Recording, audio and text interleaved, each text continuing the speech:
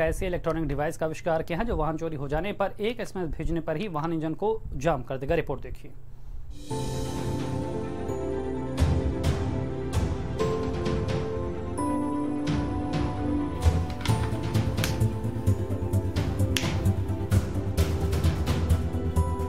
भारत में टैलेंट की कमी नहीं है, जिसकी मिसाल हापुड़ के एक छात्र नदीम ने दी है।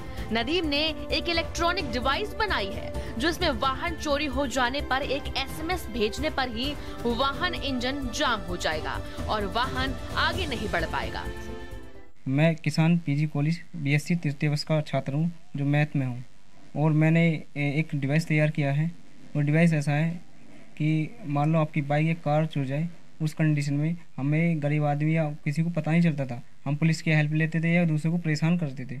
ऐसा ना करके हम एक एसएमएस के द्वारा उसे आसानी से कहीं भी बंद कर सकते हैं। कीपैड फ़ोन हो या एंड्रॉयड फ़ोन से भी। हो सकता है, इसकी कोई रेंज नहीं है। मान लो आपकी बाइक अमेरिका में है वहाँ चुर जाती है तो यहाँ से आप एसएमएस के द्वारा ही इसे सीज कर सकते हो, उसके इंजन को। चार सौ चार सौ पे दिखाया इससे हम अपनी पानी को उसी हिसाब से यूज़ कर सकते हैं। सैमसंग या नोकिया में मिला है कुछ ऐसा पॉइंट जो मैं अपना सॉफ्टवेयर बाइक पे या कार पे उसे ऑन ऑफ़ करने में लगा सकता हूँ। नदीम, द्वारा बनाई गई ये इलेक्ट्रॉनिक डिवाइस की हर जगह तारीफ़ हो रही है। वही छात्र नदीम ने एक ऐसी डिवाइस को बना के अपने जनपद का और अपने परिजनों का नाम भी रोशन किया है, जिससे छात्र के घर वाले भी काफ़ी खुश हैं।